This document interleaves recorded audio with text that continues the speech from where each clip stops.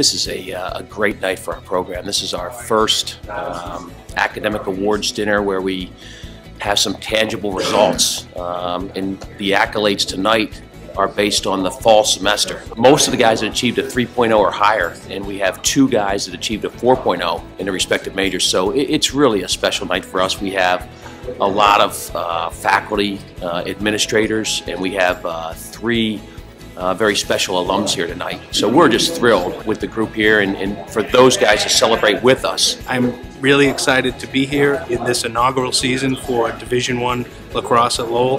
Um, I was a lacrosse player back in the day in the, the 80s and thrilled to have the program back and thrilled to be speaking to these uh, gentlemen tonight. It allowed me to re-engage with the university first on the basis of athletics and getting the program back and really being involved in and some of the thinking around how the vision of the program might unfold, but at the same time engaging and finding out about how the university at large has really grown over the last many years and really invested in both the school as an academic institution as well as an athletic program.